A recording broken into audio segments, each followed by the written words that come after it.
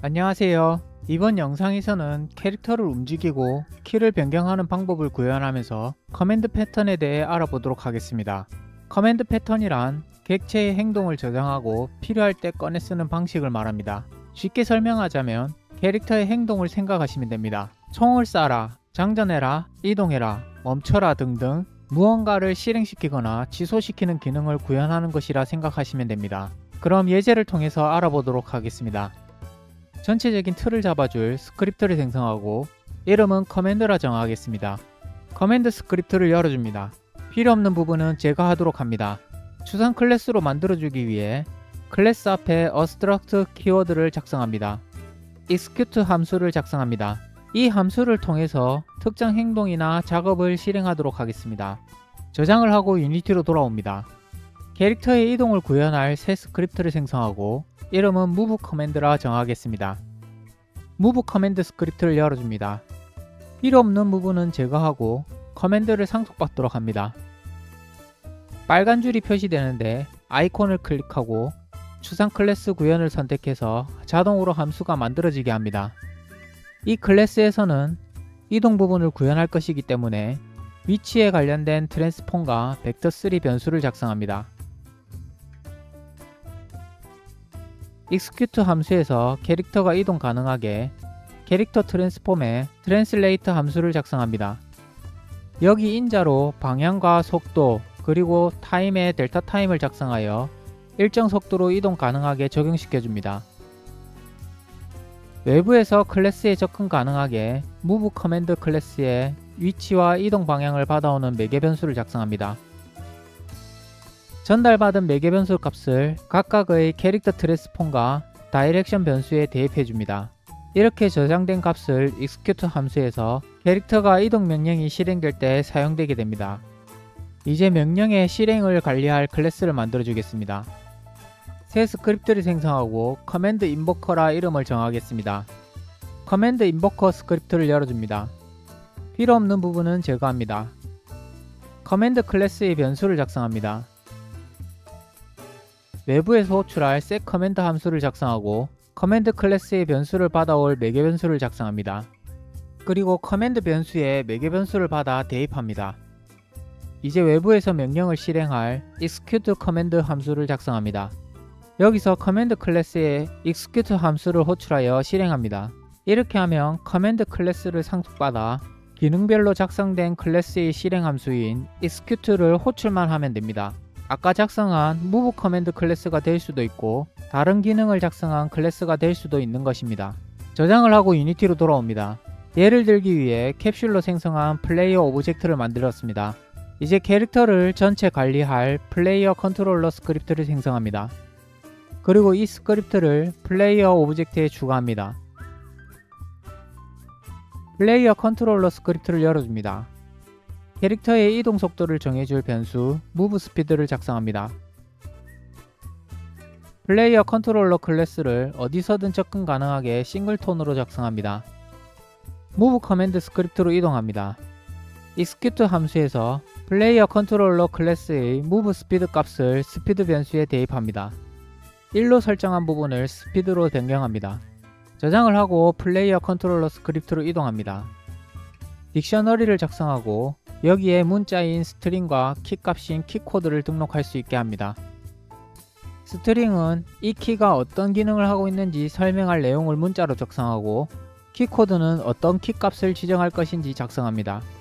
이동과 관련된 내용이기 때문에 그에 맞게 작성합니다.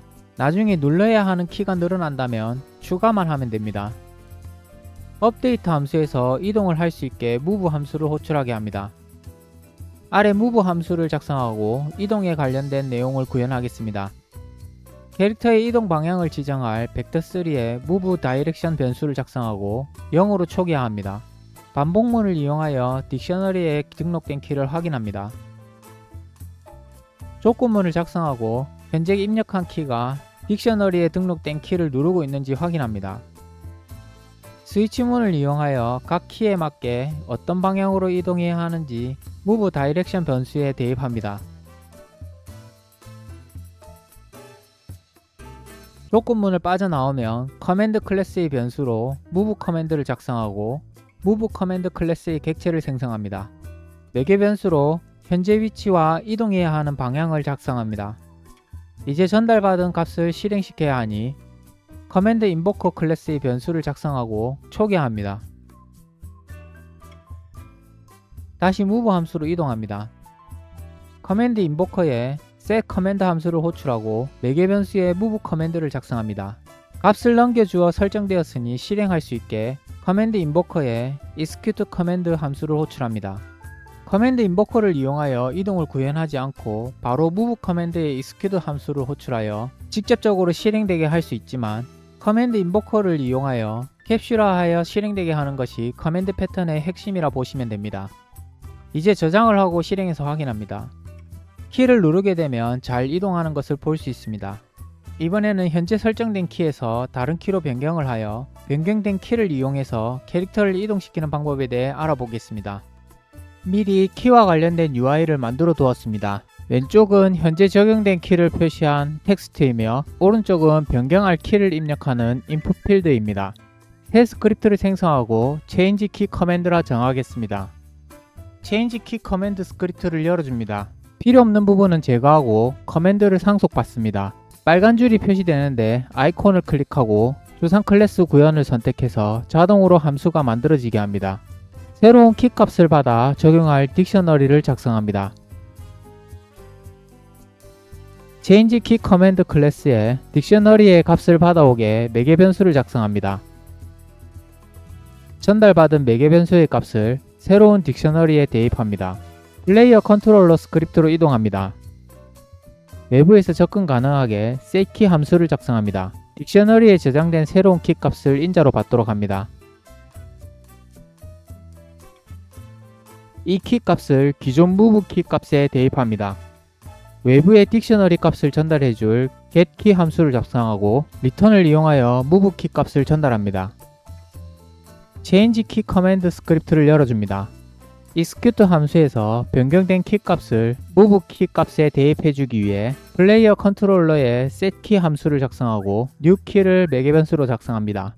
유니티로 돌아옵니다.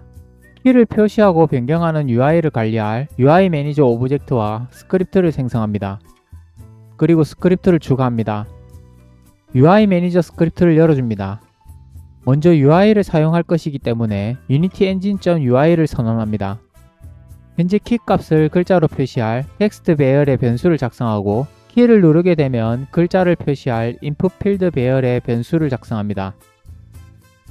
나중에 실행시켜야 하니 Command Invoker 클래스의 변수를 작성합니다. Start 함수에서 시작 시 Command Invoker를 초기화합니다. input 필드에 키를 입력하게 되면 대소문자가 구분되어 입력됩니다. 이걸 대문자로만 표시되게 변경하겠습니다. init upper 함수를 작성합니다. 반복문을 이용하여 input 필드에 입력된 문자를 전체 돌게 합니다.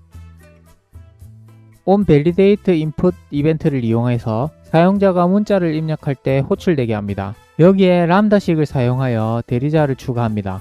입력된 문자 add 캐릭터를 캐릭터의 toUpper 함수를 이용하여 인자로 넘겨주어 대문자로 변환합니다. 이제 이 함수를 Start 함수에 작성하여 시작 시 적용되게 초기화합니다. 현재 등록된 키 값을 텍스트에 표기해 주기 위해 update current key 함수를 작성합니다. 이 함수도 시작 시 초기화되게 작성합니다. 키 값을 초기화하기 위해 dictionary에 있는 값을 매개 변수로 받도록 합니다.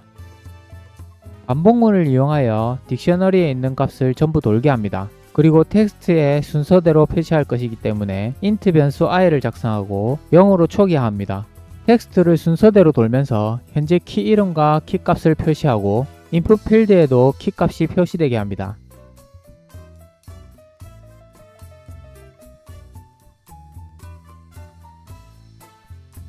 이제 Start 함수에서 플레이어 컨트롤러에 getKey 함수를 호출하여 dictionary에 있는 키 값을 전달하도록 합니다.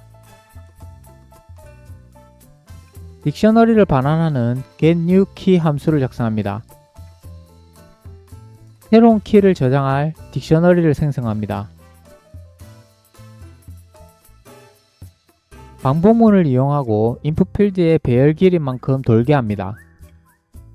조건문을 작성하고 enum의 TryParse 함수를 이용하여 텍스트를 KeyCode의 열거형으로 변환합니다. 변환이 성공하면 newKey에 변환된 KeyCode를 저장합니다.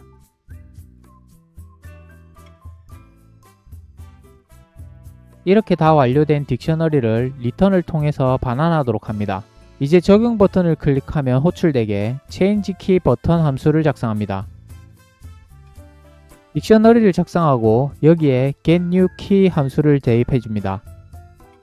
커맨드 클래스의 변수 changeKey 커맨드를 작성하고 changeKey Command 클래스의 객체를 생성합니다. 여기에 전달받은 키값을 인자로 넘겨줍니다. 플레이어 컨트롤러에 setKey 함수를 호출하고 변경된 키값을 전달해 주어 적용되게 합니다.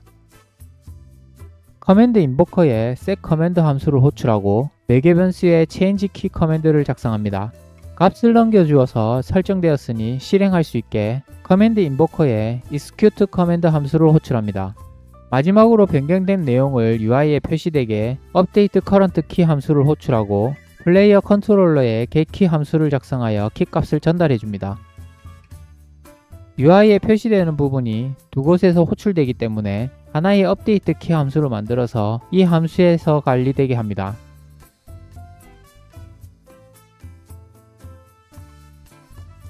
플레이어 컨트롤러 스크립트로 이동합니다. singleton 초기화를 먼저 할 수 있게 Start를 Awake 함수로 변경합니다. 저장을 하고 유니티로 돌아옵니다.